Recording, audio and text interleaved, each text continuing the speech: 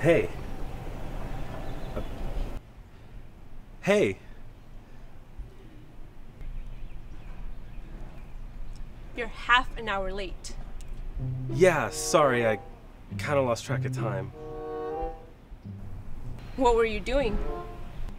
There was an emergency. You're so full of crap.